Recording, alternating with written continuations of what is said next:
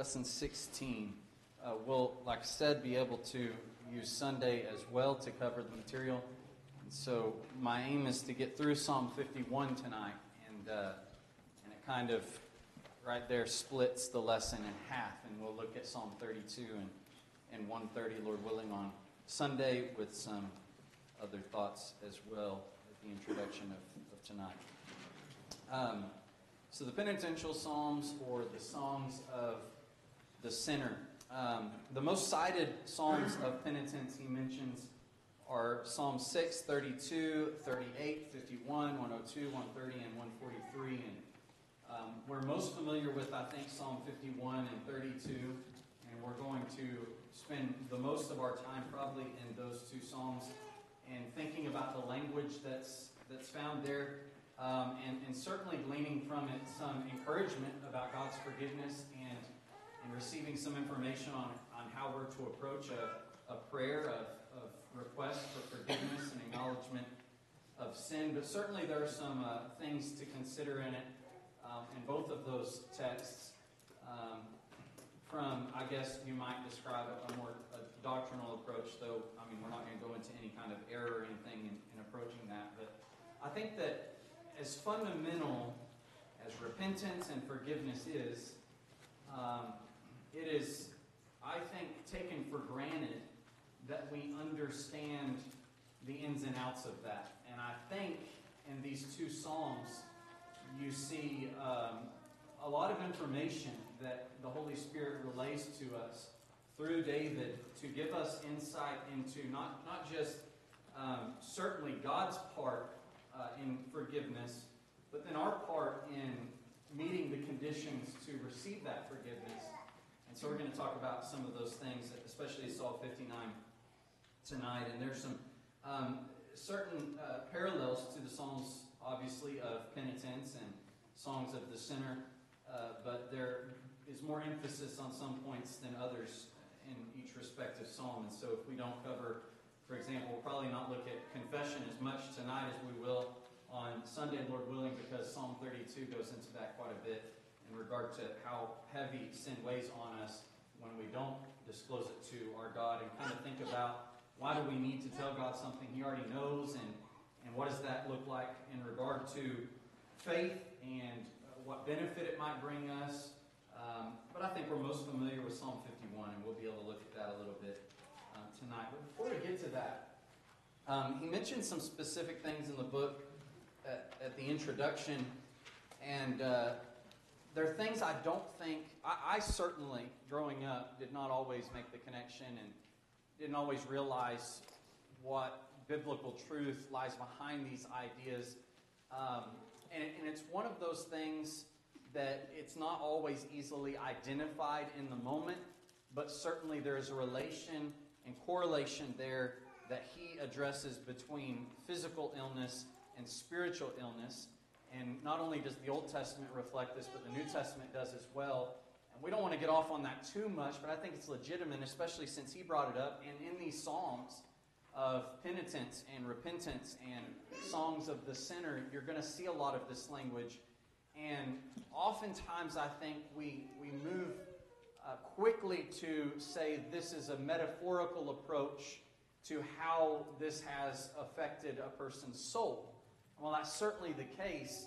There may be some literal truth to some of the things that are said, and uh, there's only so far we can take that. But I think it, it, it's more important for us on a personal level to think about how there could be a correlation between our having wronged God and some physical, whether it be malady of the flesh or affliction of the flesh or just adversity uh, with our physical lives. And we know certain sins have very direct consequences. But even when, when we're not seeing that I, I sinned and as a result of that sin, um, you know, I, I got a disease or I got pregnant or I lost my job or I went to prison or whatever it may be, um, there is the reality of the Lord's chastening. And He works providentially in our lives. And it very well may be that some of the things that we're going through are a result of our sin. And we might not be able to put our finger on it specifically, But if we're going through something, it is high time to reflect and make sure we are right with God and we're not bringing this on ourselves. Larry? Kind of go with what you're just saying. Uh, one of the greatest penitential, uh, it's not exactly a psalm, but it's a prayer, is in Jonah. And Jonah is swallowed by the fish, and he's praying to God, and it's, if you look at it, it's in written in prose form. And it just is very penitent because he's, you know, he's in the fish in the sea. Yeah, and, and that's something he knows was a result of his sin, right? Certainly the case. So he says on page 64, it's difficult to totally separate physical illness and spiritual anguish and sin. And we'll look at Psalms where the writer clearly understands sin to be his major issue the cause of his suffering. And then, and then on top of that, I think probably the easiest connection to see between those two is we make ourselves physically sick when we're guilty and we're hiding it. And kids know that. Um, and when, we've upset our parents, or when we've obviously upset our Father, God, um, and we don't deal with that, I mean, stress can destroy a body. And uh, that's certainly a, an obvious connection. So, someone read Psalm 6 in verse 2 and 6. We'll just go through some verses in this. Psalm 6, verse 2 and verse 6. Have mercy on me, O Lord, for I am weak. O Lord, heal me, for my bones are troubled. My soul is also greatly troubled. But you, O Lord, how long? Return, O Lord, deliver me. O save me for your mercy's sake. For in death there is no remembrance of you. In the grave, who will give you thanks? I am weary with my groaning. All night I make my bed swim. I drench my couch with my tears. Thank you. So, you've got bones being troubled, and that seems to be more metaphorical, doesn't it? But um, weary with my groaning. There's a physical um, response that comes to guilt and uh, physical weariness. Uh, look at Psalm 32 and verse 3. When I kept silent, my bones grew old through my groaning all the day long. For day and night your hand was heavy upon me. My vitality was turned into the drought of summer. Someone read Psalm 38 in verses 3 through 5. There is no soundness in my flesh because of your anger, nor any health in my bones because of my sin. For my iniquities are gone over my head like a heavy burden that is too heavy for me. My wounds are foul and festering because of my foolishness. Go ahead and read verses 7 through 8 as well. For my loins are full of inflammation, and there is no soundness in my flesh. I am feeble and severely broken. I groan because of the turmoil of my heart. Thank you. Verse 11 says, My loved ones and my friends stand aloof from my plague, and my relatives stand afar. This gets even more uh, specific, and it doesn't just seem metaphorical. Specifically, he talks about his, his wounds being foul and festering because of his foolishness. Maybe um, his, his activity has brought on some kind of physical malady on him. This idea that my loins are full of, of inflammation, it seems to describe that the, the inward pains of the body and some sickness or some um, stress or whatever it may be, and a plague is very detailed as well. Um, so, with that in mind, I want us to think about a familiar passage in James chapter 5. Like I said, we won't spend much more time here, but there's some legitimate points to be made. We're not studying James, and this is a passage that there's some debate about in, in regard to um, some of these things, but I think we'll see an obvious connection. Notice in James 5, he says in verse 13, Is anyone among you suffering? Let him pray. Is anyone cheerful? Let him sing psalms. Is anyone among you sick? Let him call for the elders of the church and let them pray over him, anointing him with oil in the name of the Lord. And the prayer of faith will save the sick, and the Lord will raise him up. Pause. Up to this point in the reading, what kind of affliction or sickness is it talking about? Physical, right? Is anyone suffering? That's not the first time he brought that up. The chapter begins with the oppression of the rich, um, even, even to murder. And then he talks about being patient and establish your hearts. Don't grumble against um, one another. And then, is anyone among you suffering? The, the whole book, the whole epistle started with the reality of physical suffering that the brethren were having to endure. They need to count it all joy, knowing the testing of your faith produces patience. Up to this point, in anointing him with oil, I believe that's concept of, of medicine the Lord. And so you're praying for someone who is physically sick, and God's going to answer that prayer of the faith. But then he says in verse 15, and if he has committed sins, he will be forgiven. And that's when he goes into confess your trespasses to one another. And so there's the if component. He may not have sinned. And it's not just some this generic prayer in, you know, God's going to take care of sins if they happen to be there, but if they're sins, those would specifically have to be dealt with by the person um, in confession, and we'll talk about that in these Psalms of, of penitence. But there seems to be a connection there. Here's a person who is sick, and they're, they're applying oil to him. The elders who are righteous men are praying over him. God's answering that prayer and healing him and raising him up.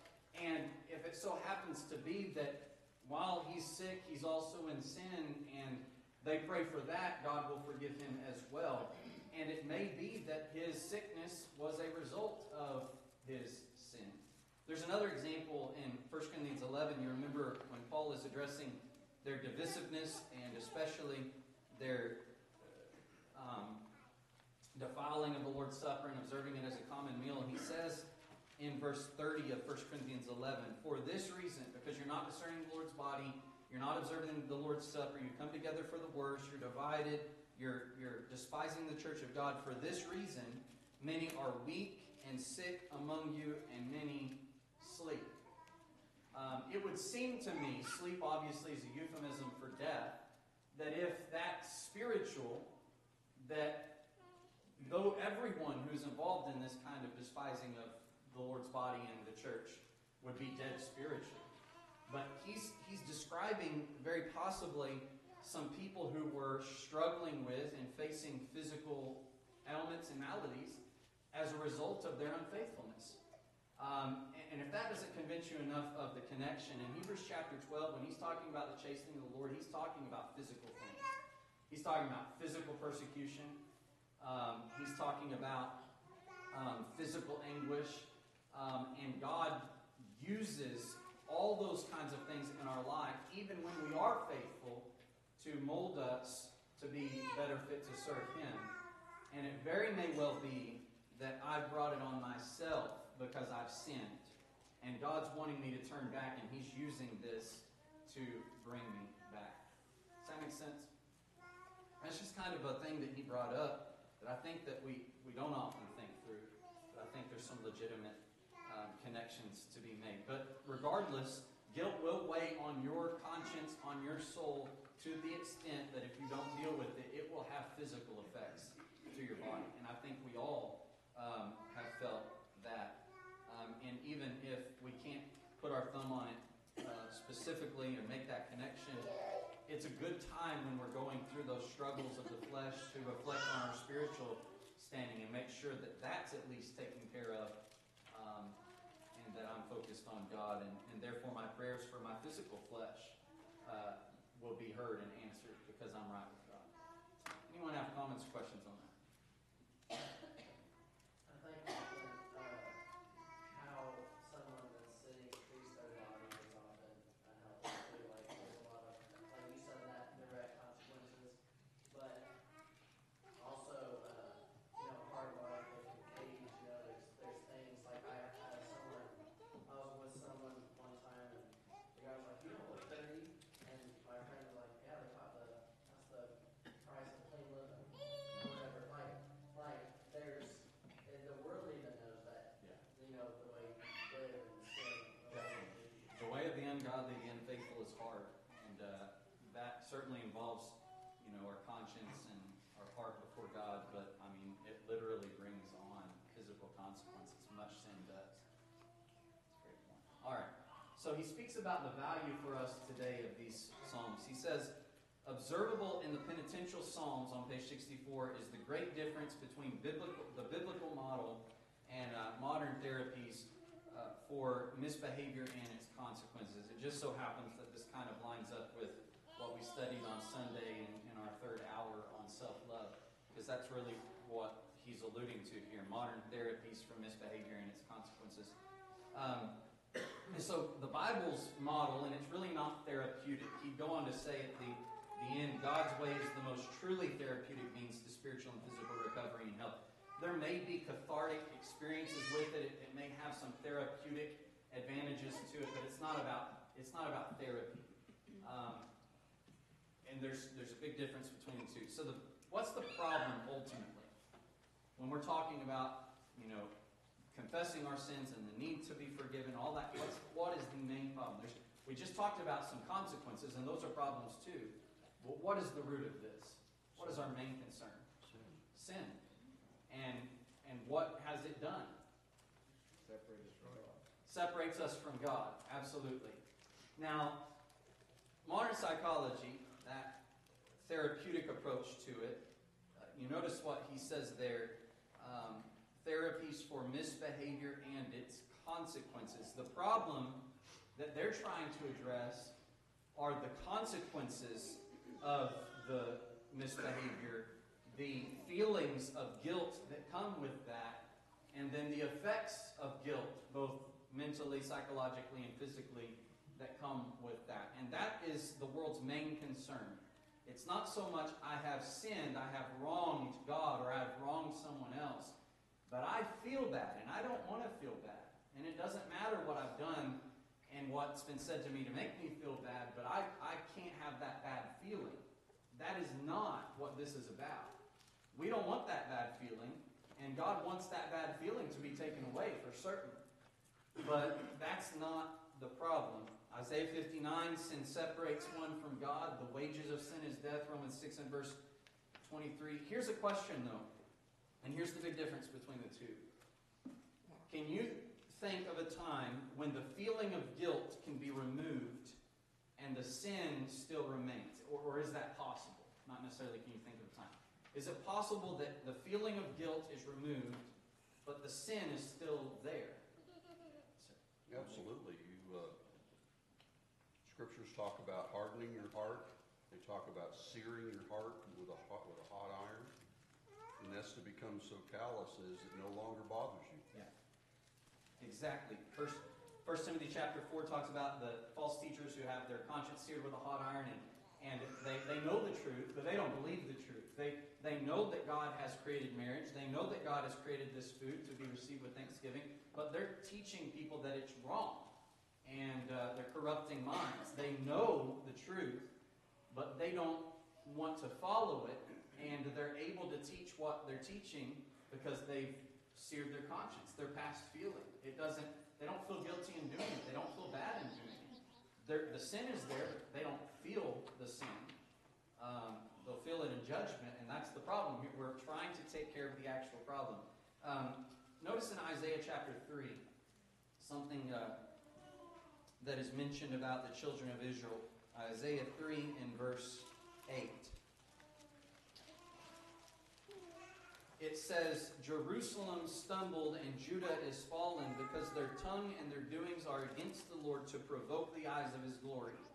The look on their countenance witnesses against them, and they declare their sin as Sodom. They do not hide it. Woe to their soul, for they have brought evil upon themselves. Was Sodom ashamed of their sins? No, they had the boldness to go rap on Lot's door and say, you know, bring out the men so that we can know them carnally. There was no shame there. There was excitement about doing those things. They, they were completely unashamed and unabashed before God. He's telling Jerusalem, listen, you're, you're just like Sodom. You, you know you're in sin, but you don't feel any guilt. You don't feel any remorse. You don't know how to blush. And, and we looked at a passage in Jeremiah on Sunday that talks about that as well. Peace, peace when there is no peace. Did they know how to blush? No, they've forgotten how to blush. And so if you just want to get rid of the feeling of guilt, you want to stop thinking about it. You want to be able to sleep at night. You don't have to go to the Bible. You can go see some modern um, therapist and go through some of these things and talk yourself out of it. You can surround yourself with people who think what you did is completely fine and normal, and eventually your conscience will be calloused and it's not going to bother you anymore. But your soul will still be dead. And so this is not about getting rid of the feeling of guilt and making ourselves feel better in that regard. It's about getting rid of the sin, and the rest is just a byproduct of that. The rest is just an effect of the blessing of forgiveness. And that's extremely important for us to know, lest we convince ourselves through those methods of avoiding the feeling of guilt, whether we're seeking counsel from someone that we know is going to tell us that we're okay, or we just leave a congregation standing for the truth to go to a congregation that's not, or uh, we just tune everyone out so that we don't feel bad anymore and we convince ourselves that we're okay because if I wasn't, I wouldn't feel this good, then you know we're going to be in a lot of danger. Um, forgiveness is the key. Yes, sir. There's also a problem with people, it's not a question of searing their conscience, their conscience just has never been shaped.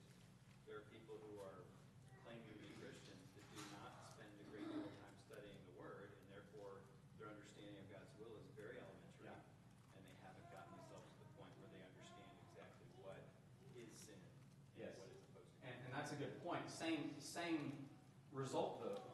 Um, if you've sinned and, and you don't even know that it's sin, you're not going to feel bad, are you? But you're still separated from God until you come to a knowledge of that, so you can rectify it, right? And that's why we're always learning. That's why we're always studying. That's why we're always seeking. Um, and that's why I think we pray the prayer, Lord, if I've sinned and I don't know that I've sinned, please show me. I need to hear that. I need to know um, because you're in the same space. You may not feel bad, but your soul is dead until you get that corrected. Did I see you need to read? Kurt. On the other end of that is, is the person who has at once time uh, had a tender heart and has been touched by the gospel, obeyed the gospel, and then for whatever the reason has built a wall. And so the scriptures talk about that person is worse off than they were before. Yes. Well, the reason why they're worse off than they were before is because of the hardness of their own heart. They've built a wall in that area and they no longer are tender-hearted. And Yeah. It's not that they can't be forgiven, it's unlikely Right. without grief and pain Yeah, it's and impossible shame. in the state that they find Right, themselves. they, they have already decided that they're not gonna be touched. Yes.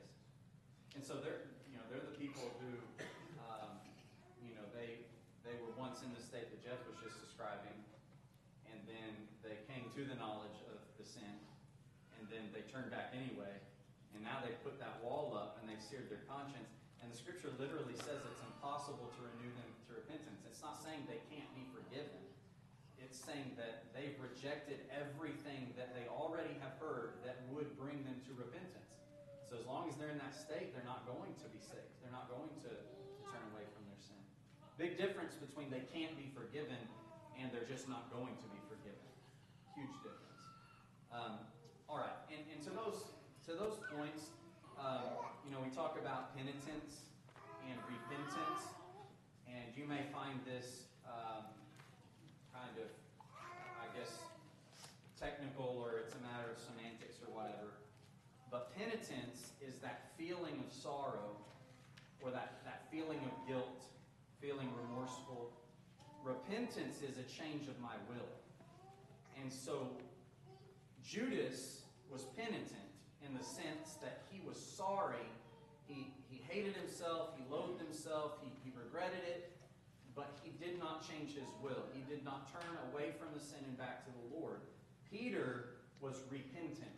And uh, we need to be careful because there's been a lot in the church who have um, conflated those two and acted as if penitence is repentance and repentance is penitence. And so, as long as you're just sorry and you ask God to forgive you, that He will forgive you. But in reality, what has to happen is you've changed your will and determined to not do that again. And that's what repentance is. You stop doing it. All right. Psalm 51. We are, are familiar with the psalm. We'll break it down to some degree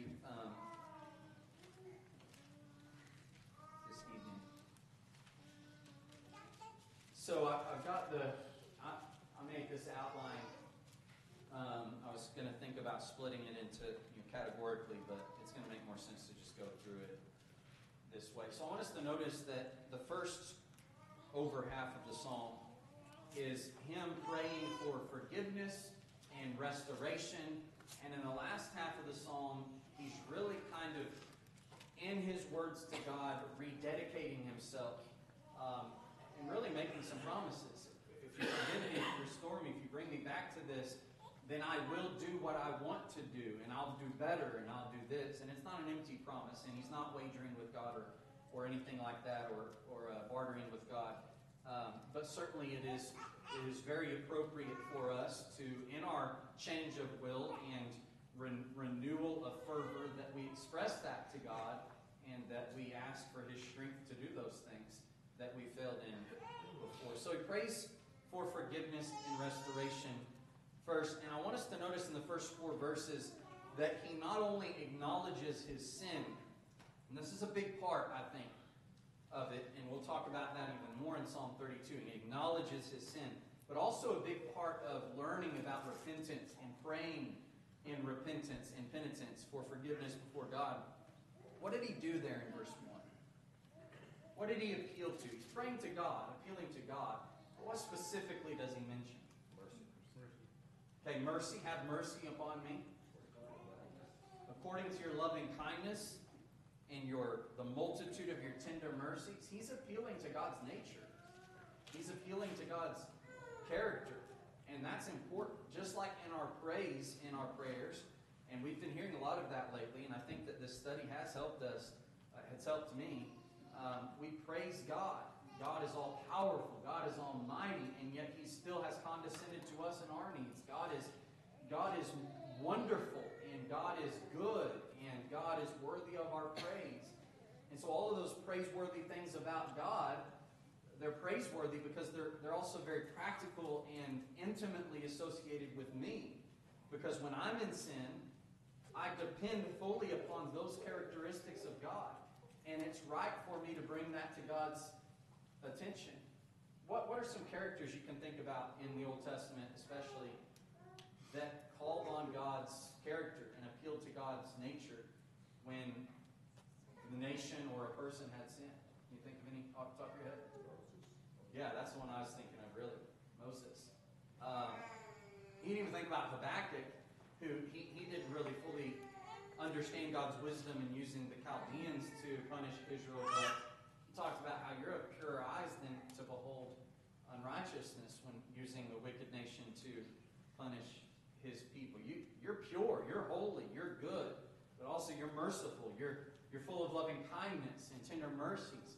And according to all that, based on all that, please forgive me. And, and that's not, you know, that's not like using it as leverage against God. We shouldn't think of it as that. He still doesn't owe us anything, but that's who He is. And, and He's told us and promised us that I will do this for you because this is who I am. And so it's good for us to appeal to that in our request for forgiveness. Carl, did you have? No. All right, so first two verses. Have mercy upon me, O God, according to your loving kindness, according to the multitude of your tender mercies. Blot out my transgressions. Wash me thoroughly from my iniquity and cleanse me um, from my sin. And so he appeals to God's loving kindness.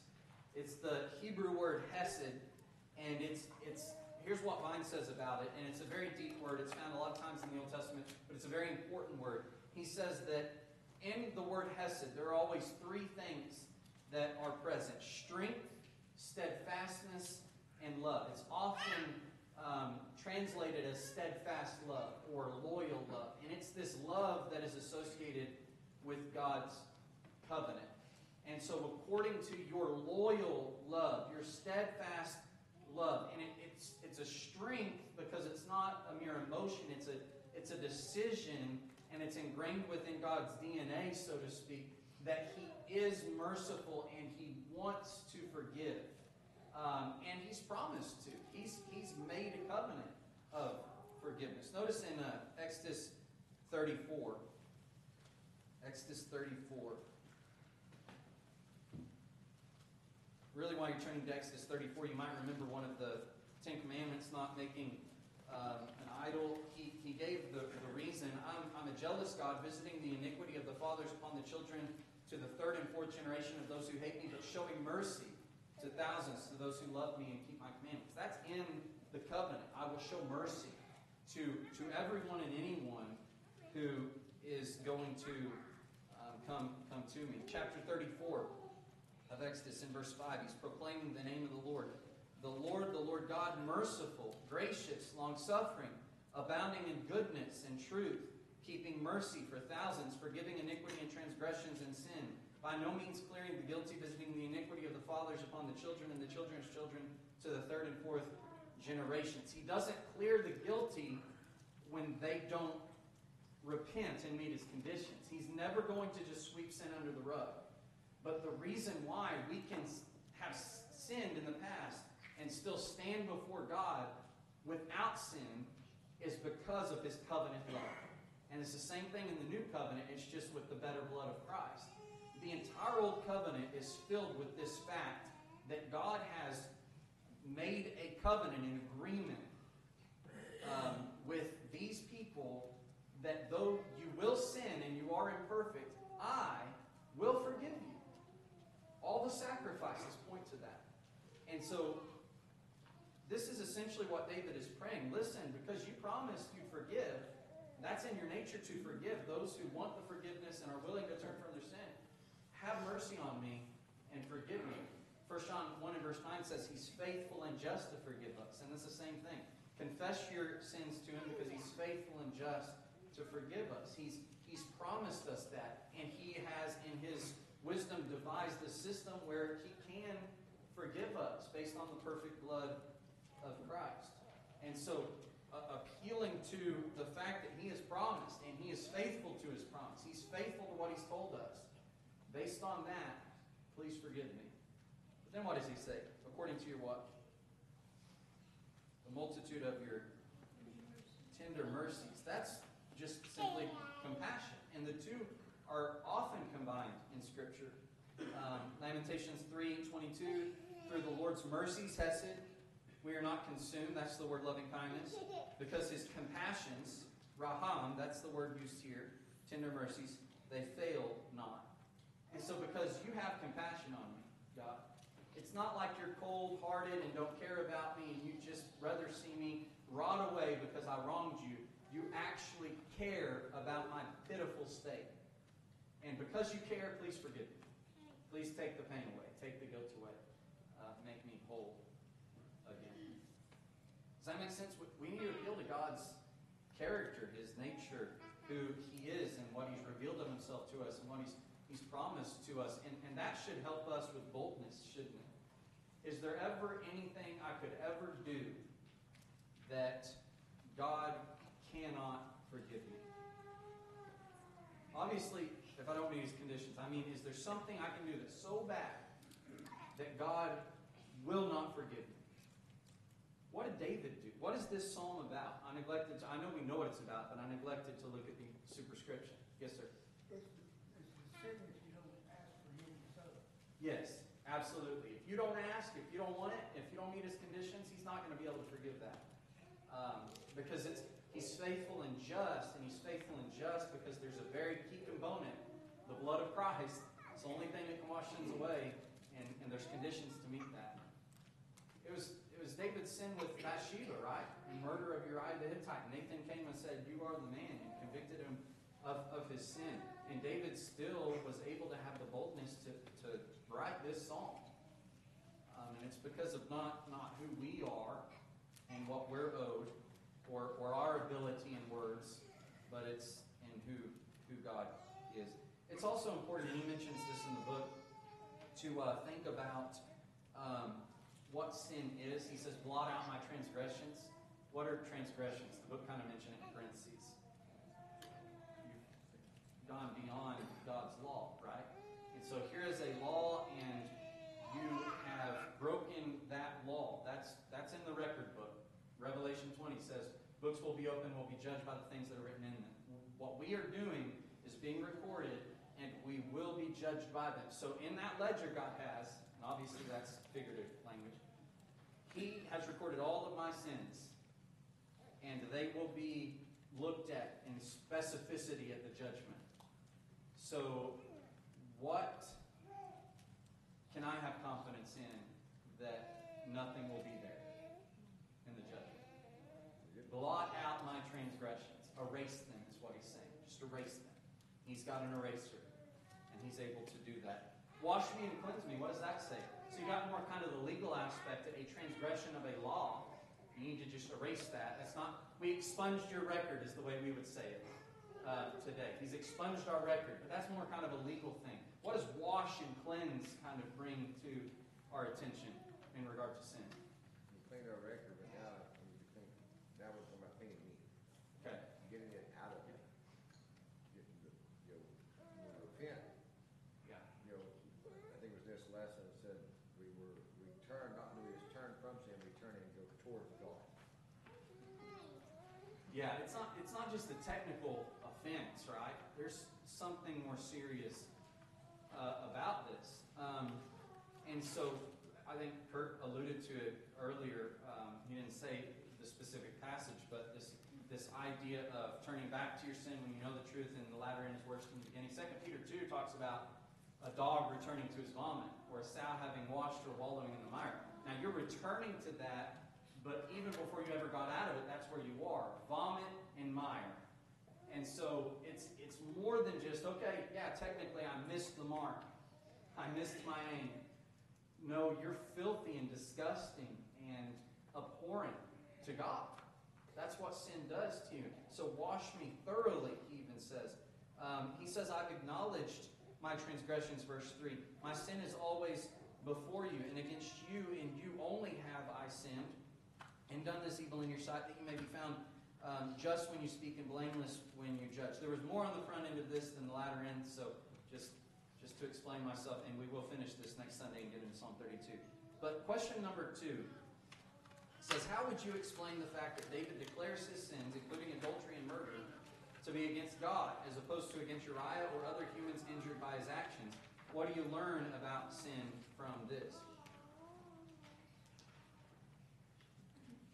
All sin is against God. All sin is against God. Absolutely. Whether it involves other people or not, but certainly even when it includes other people. Yes, ma'am, Marie. Well, he's the one that, that said it's a sin to do these things. So Yes. it would be against him because he, he made the rule. Yeah. It's he he's the one that defined it, right? E- even if the person didn't want you to do it to them, that's not what made it wrong. And that's not what made it bad. It's because God said, You shall not do it. Did I hear something over here? Yeah, also, when, uh, when you do something when you're involved, when you're like a little kid, you did something that affected somebody, your parents will make you go to them, you know? So, God is the only one that can offer us forgiveness of this too. So, when, we have to know that it's against Him, so we can go to Him and seek that forgiveness as well. And if we don't have that, and, and knowing it's against Him, then we're gonna, have- we're gonna go to the wrong places to find forgiveness too. It, and you know, to that to that end, if if uh, I've done something wrong to Carl, and you know he confronts me about that, and I feel really bad because me and him are really close, so I make right with him. But I didn't really even think about the fact that I sinned against my God.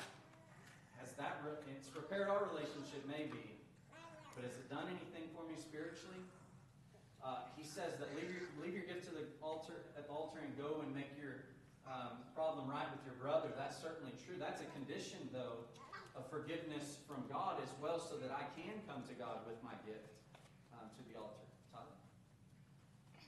I mean, we can seek forgiveness from our brothers or, or people that we sin against, but the only forgiveness unto salvation is going to be from God. It doesn't matter Yes. how many people in the world that we wrong that have all forgiven us. Yeah. And they may give us peace of mind.